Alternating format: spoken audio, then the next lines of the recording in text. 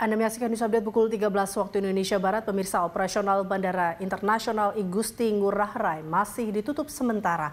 Penumpang yang batal terbang dipindahkan melalui transportasi jalur darat menuju Surabaya. Ratusan penumpang mulai diberangkatkan menggunakan bus menuju Surabaya dan pelabuhan Padang Bay. Sekitar 50 bus gratis disiapkan oleh pemerintah Provinsi Bali. Gubernur Bali, Mangku Pastika meminta maaf atas ketidaknyamanan.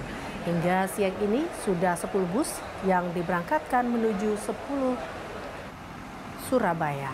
Sementara itu sejumlah penumpang memilih bertahan hingga Bandara Ngurah yang kembali beroperasi.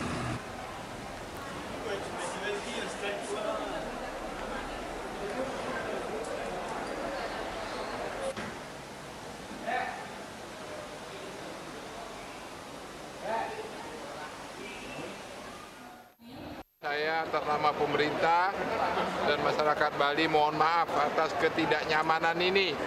Tetapi kita tidak bisa menolak karena ini adalah bencana alam dan kami akan berusaha sekuat tenaga bersama seluruh stakeholder untuk menanganinya dengan sebaik-baiknya. Uh, Mudah-mudahan para penumpang bisa melanjutkan perjalanannya dengan